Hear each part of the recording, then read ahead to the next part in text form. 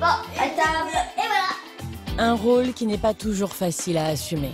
Souvent, quand je les garde, le samedi ou le dimanche, Noémie et Léonie, elles se tapent dessus, elles se bagarrent parce que, par exemple, l'une veut jouer à quelque chose, mais l'autre, elle veut pas. Et à la maison, ça ira mieux. Mais ce soir, pas le temps de se disputer. Les filles ont promis de remplir quelques cartons. Pendant ce temps, dans la nouvelle maison, un problème préoccupe leurs parents. Il est 21h et la cuisine n'est toujours pas finie.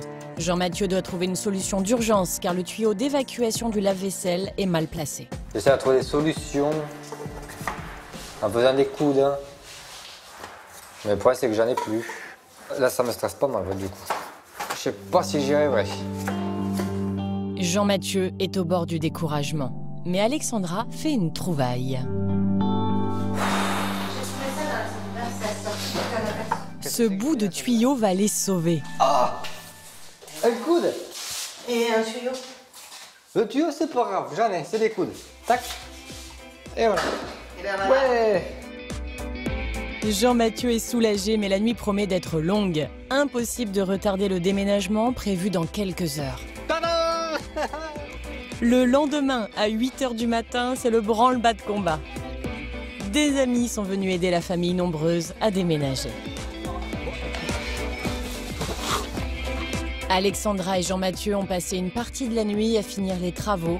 Le dernier meuble de cuisine est enfin posé. Et la chambre de Maëlys.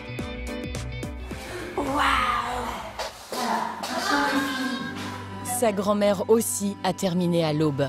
Personne n'y croyait, mais elle a réussi. Tout est prêt, juste à temps. Oui, c'est trop beau. Comment tu as trouvé ta chambre? Trop belle. Trop belle? Trop flash aussi. Non? Non. Je suis beaucoup soulagée. Je pensais ne pas l'avoir aujourd'hui.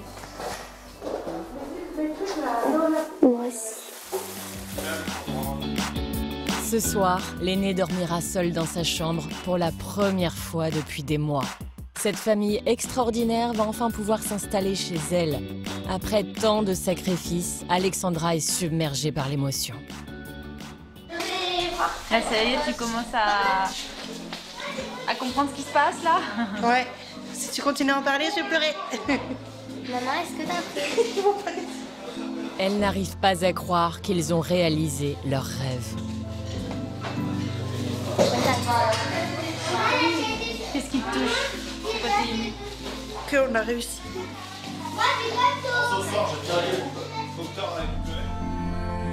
Les Marty ont gagné leur pari. Reste désormais à tout ranger avant le prochain bouleversement de leur vie, la naissance du petit cinquième.